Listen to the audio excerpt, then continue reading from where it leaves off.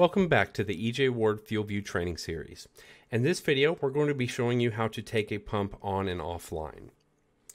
So a pump might have gone offline because there's too many zero gallon transactions that have come through, which could be a couple different reasons. Most of the time I've seen this, it's because a pulser is not working anymore. So if you get that pulser replaced or the problem is rectified and you want to turn that pump back online, there's a couple ways we can do it. So I'm going to show you a quick way to do it, and then I'm going to also show you a little bit of the scenic route and how to do it another way.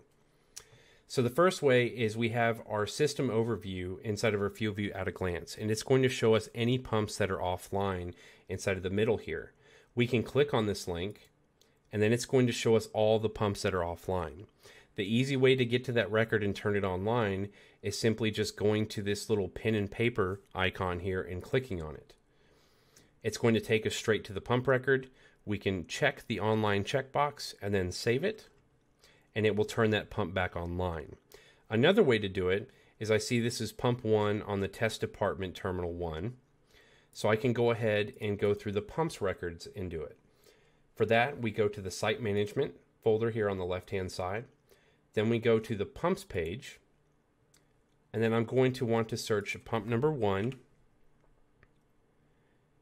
and I'm going to search for the test department here, which is down here on tank number three. So I'm going to go ahead and go into the pump record.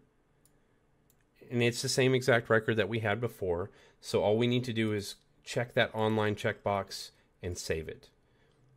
If you have a Ward 4 FCT or a Ward IoT FCT, this is automatically going to turn the pump online.